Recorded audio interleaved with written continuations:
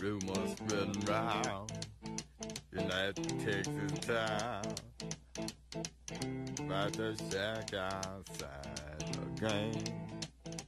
And you know what I'm talking about.